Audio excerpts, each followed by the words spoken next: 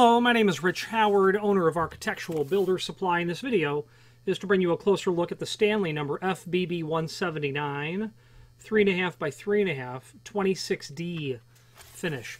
This is a full mortise hinge and a standard weight uh, ball bearing, and much of um, what I just said is buried, of course, down in the part number.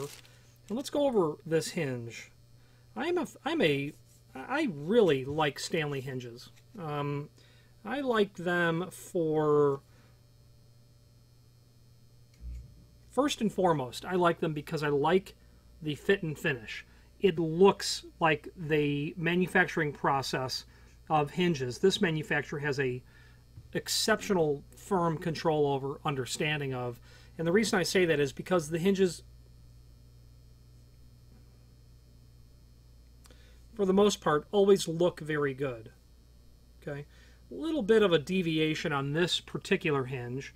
In the crotch of the hinge here, I'm not a fan of that run out, or the, or well, it's probably not run out, but um, the fact that the crotch of that hinge is less perfect than I would like to see it. Okay, finish down on this portion, but not running up. That's that's very atypical. Um, what is incredibly typical is how free of a swinging hinge leaf that is. Just works really nice. Um, that uh, little bit left to be desired on the finishing here and in here, but nonetheless, it's a very attractive hinge. You know, at four, three feet away, you're, you're certainly not going to see much of that. Um, but nonetheless, that to me is a telltale sign of how much control over the process the manufacturer has. I will hand it to them that they at least have a complimentary finish, that they finished the product. The brushing just doesn't go through there. I have instances of hinges of other manufacturers where it's really not even finished. Um, anyway, it's a very nice operating hinge. So the FBB 179 means a number of things. In no particular order, this hinge is made of steel. This hinge is a full mortise hinge, you can see from the swag on the hinge leaf here and here that when the leaves are brought parallel, they're meant to be mortised flush to the edge of the door and frame. It's a full mortise hinge. It means that it's a five knuckle hinge and that it is ball bearing. There are two bearing packets on a five knuckle hinge that is standard weight, and the FBB 179 would be classified as standard weight. And when it's a three and a half inch tall hinge, the thickness of that leaf would be 123 thousandths thick and my caliper tells me 0.12. So a very, very small deviation is typical on hinges. That measures 0.12. Okay. Um, can't think of it meaning anything else. Uh, this it'll also mean though it's a template pattern for a three and a half inch hinge. These holes will be in a standardized location. Okay. Three and a half inch. Now let's let's move to the size. It's three and a half by three and a half. That means that the hinge is three and a half inch tall and then three and a half inches wide. The height is the first dimension on a hinge on, on hinges like this. That's always important to know. Um, it's important to know when you're dealing with a hinge that's not square like this one. If you're dealing with a 4 by 3.5, Stanley makes those. A lot of people buy those. If you're dealing with a hinge that is 4.5 by 6, or maybe 8 by 6. You need to know which dimension is the height. So hinges run opposite of how doors are sized. Uh, doors are sized by the width first, and I think the dimension that goes first is probably the paramount of the two dimensions that are in play. It is more important to know the height of the hinge first because the width of the hinge ends up being specified based on the application, as does the height, but the height is going to be somewhat um, understood with a direct relationship between the thickness of the door, the size, the width of the door, and um, its other requirements uh, in terms of the frequency of the usage, the height of the door. What the hinge is made of is going to be important to know as well, uh, depending on what you're working on. You might be working on a fire rated door. But the because the height is so related to compatibility of the application, the width of the door, the weight of the door, and how much volume of use you expected to get. The height's going to be, in my opinion, more important than the width. But the width has to be defined.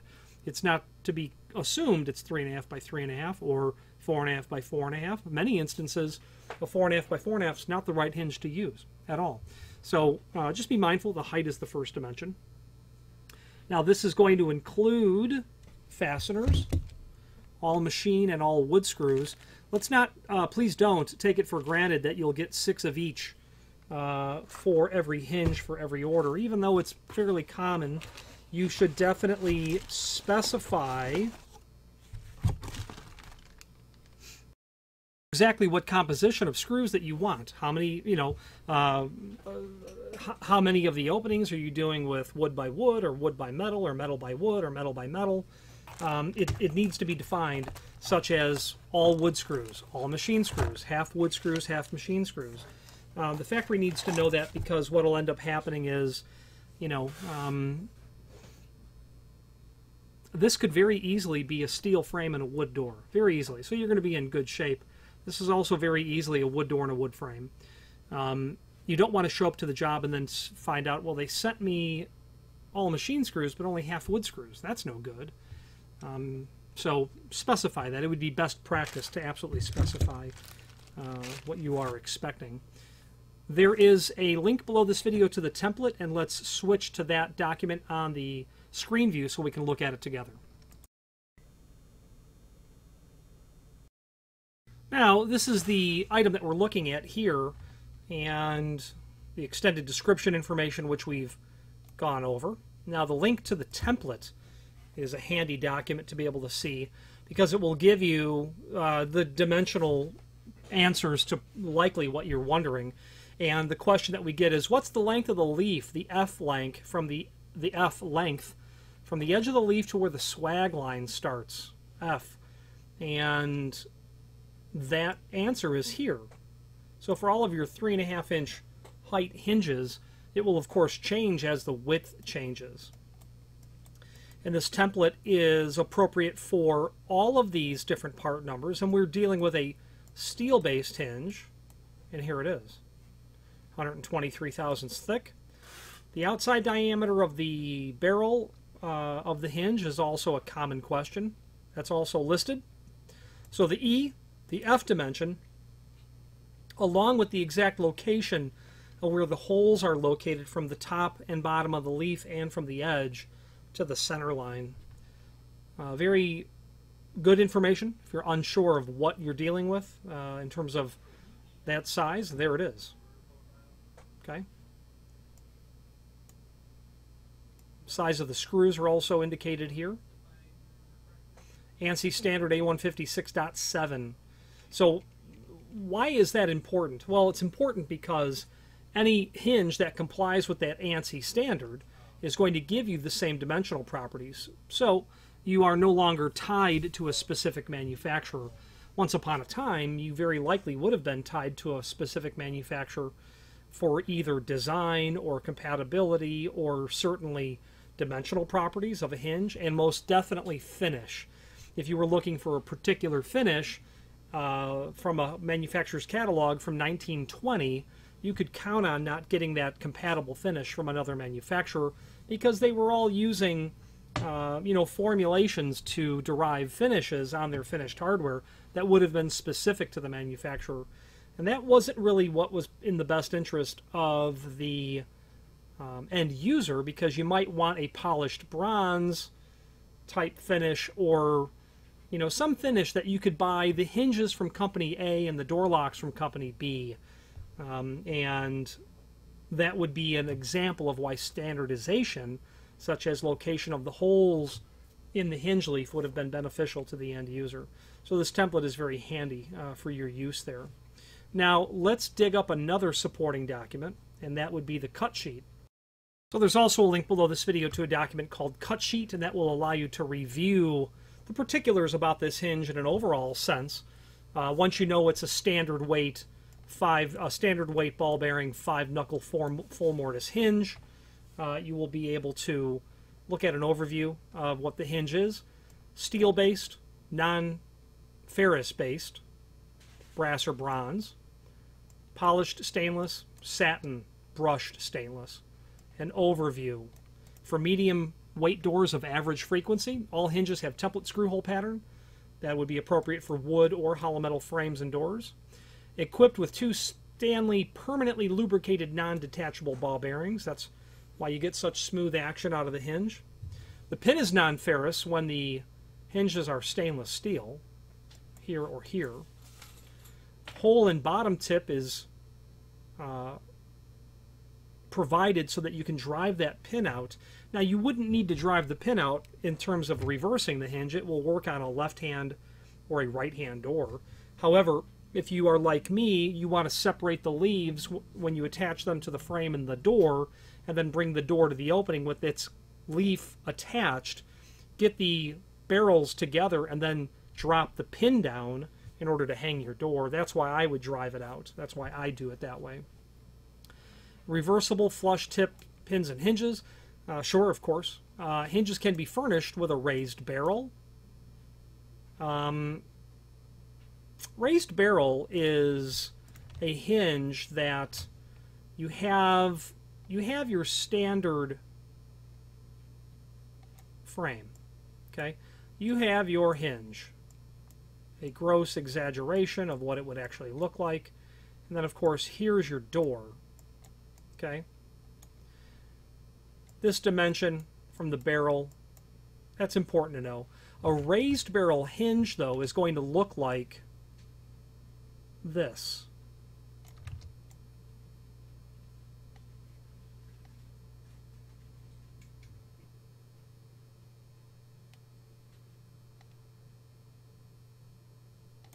Okay. Um, that's, well, what I mean to say is that's your standard hinge. A raised barrel hinge is going to look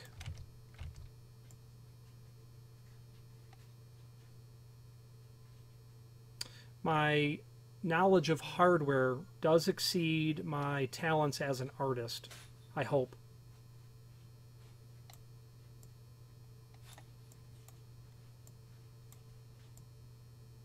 Okay. Raised barrel means that the vertical axis of pivoting is now shifted away and it's raised away. Okay. Now where you would want that sort of application would be you have a frame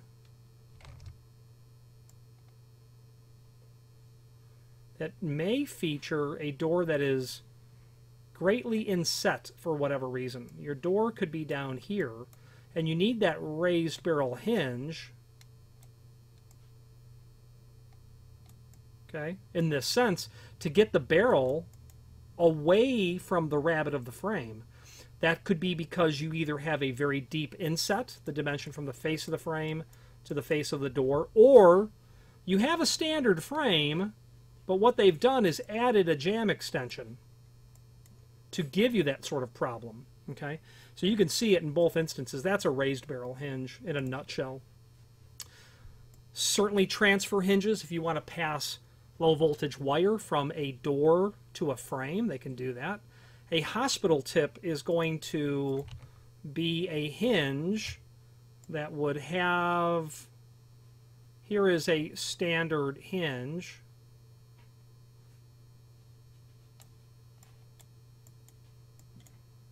Okay, so where they take the, and, and this is of course your barrel here, where they take this portion of the barrel and they grind that away. So your hinge literally is ground away so that the barrel actually looks like this so that nothing can be strapped or hung to the top of the hinge which makes it ligature resistant so nothing can be hooked on here like this can be the, the intention is that whatever is placed on there will slip off that makes again makes it ligature resistant decorative tips sure acorn steeple um, urn. The most common would be, of course, a ball tip. And there are other tips by modern manufacturers of hinges as well. Security studs, they can do uh, a situation where they will install a large, thick piece of round material here and then drill a hole in the opposite leaf so what, that when the door is closed, that stud projecting into the opposite leaf will prevent you from sliding that hinge across each other, even if you have uh, a condition where the pin has been driven out. And you will often see security studs and NRP used on the same hinge. Okay, so they'll have have that. Uh, sizes. What can you get in terms of a FBB 179? Here are all your sizes. That's really nice to know uh, what other sizes are available. A 4 by 3.5, that is a manufactured hinge. That is available.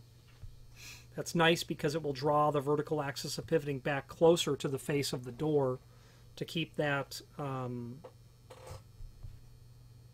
to keep that back and away. And what what that deals with is when you have a frame. Here's your barrel.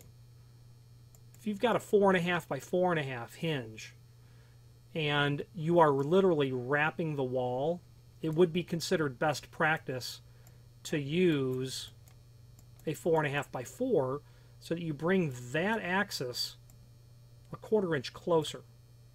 So moving it, you know, down here so that it's really over here. That's, that's a nicer look. And the point of the matter is they have that for a four inch tall hinge as well.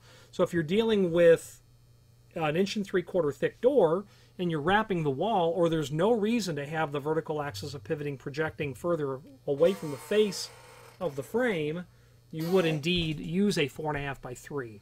4.5 by 4.5 is the hinge that every manufacturer uses every single time, but in, in, in many instances, 4.5 by 4 is a better option.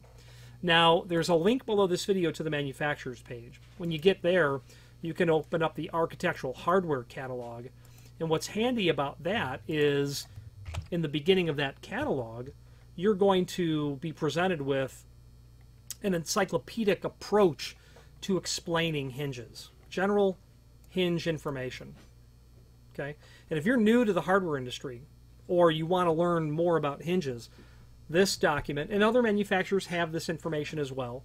We're talking about Stanley right now, and they do an exceptional job to teach us about What's the difference between full mortise and full surface?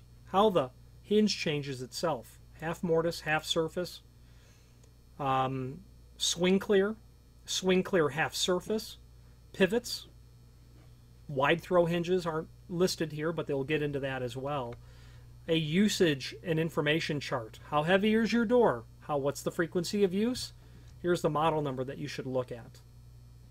Okay, and that's why those sizes are listed there as well. This is how you determine, this page is how you determine how wide of a hinge you need. And that formula is door thickness times 2, pardon me, door thickness minus backset times 2, plus your clearance, plus your inset.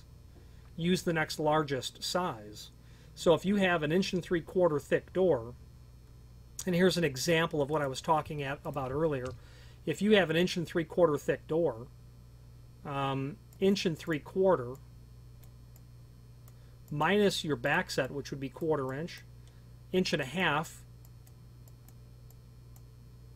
times two, that's three inch. Okay, your inset is an eighth of an inch. You have no need for clearance because you are wrapping the wall in this instance use the next largest size. So if you were dealing with a four inch tall hinge, you would be best off using a three and a half inch because we're going to be very close to three inch. Um, if you were using a four and a half, a four inch would be the next closest size. Three and a half by three would be the right answer for this hinge in this instance. I don't know if Stanley makes a three and a half by three. Others do. And back to our cut sheet, they indeed do. So in that instance where you're wrapping the wall and have no need for clearance, you're going to want to order a 3.5 by 3. That would be the proper hinge to use in this regard. Okay, So back to our general hinge information portion, you're going to be able to review Okay, here's the formula we were on. Fasteners, it's very, as I said initially, it's very important to Uh, indicate what fasteners you want for a hinge. Be mindful. This is what's called a Paumelle hinge. I call this a two-knuckle hinge. I've seen this referred to as a Paumelle hinge. Um, they might refer to it as olive knuckle, even though it's not olive knuckle. It, it's not referred to as olive knuckle. Paumelle. You'll see that name, P-A-U-M-E-L-L-E, I believe. You'll see that name come up. Finishes are listed here. It's a great chart. The BHMA chart listing is here as well. So really great information to refer to. This is an anchor hinge. Those are great hinges. You don't ever see those. Uh, I've seen them out in the wild, but people don't people don't order them, even though they are a great way to keep a door and frame from ever sagging. That security, that safety stud, I should say, is detailed here. That little piece that will go in here, as I had said, a shear resistant stud or, or a reverse stud that will go into the hinges, uh, the hinge plates. This also features, this is a detention sort of hinge, very heavy weight, uh, a institutional or hospital tip feature on here as well. Raised barrel is listed, and they show the applications where you're going to use it, as I tried to show earlier. Wide throw hinges are derived, uh, detailed, etc. So I would really recommend getting to the manufacturer's page and pulling up that catalog. Other things on that manufacturer's page, you're going to be able to see uh, the full line catalog. Obviously, all the Stanley products that we sell that will go on. Um, a, a, a link to the manufacturer's website as well. Let's finish up this video on camera.